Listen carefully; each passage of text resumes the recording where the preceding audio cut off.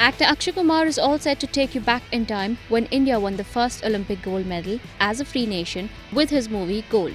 The trailer of this patriotism infused movie released today, which took many Bollywood celebrities aback. Let's check here how some celebrities reacted to its trailer.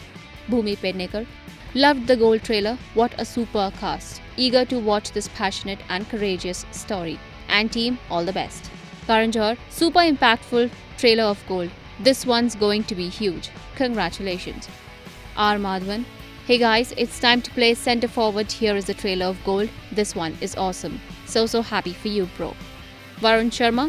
Absolutely amazing. Can't wait to watch the film. Gives you goosebumps. Fab.